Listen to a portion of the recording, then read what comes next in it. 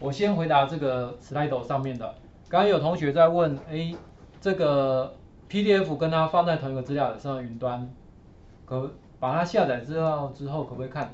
原则上它的 PDF 会跟它的专档放在一起，所以其实你有没有放在那个资料夹没有任何关系，它就专档就带走了，这样你了解吗？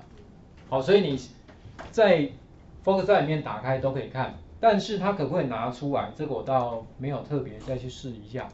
也就是说，如果我现在这个 PDF 放在这个里面了，对不对？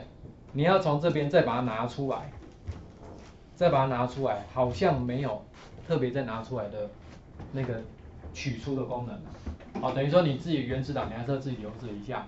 好，那第二个呢？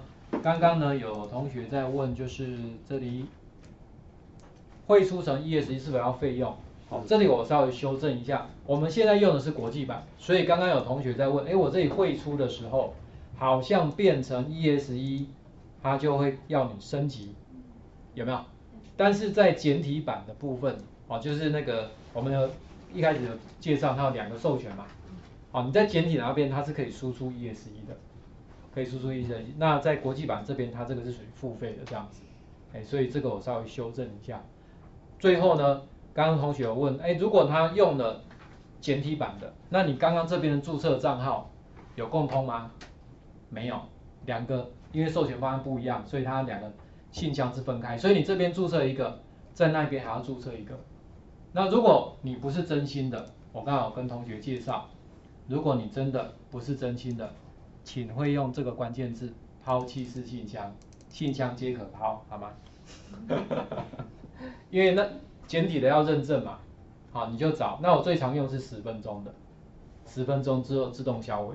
那么有的信箱是有，你可以大概指定一段时间，啊一段时间就自动销毁的也有，好，所以像这种网站其实蛮多的。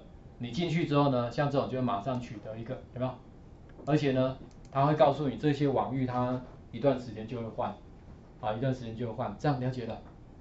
万一超过十分钟还想用的，在这里跟他讲，神啊，再给我十分钟，这样会吗？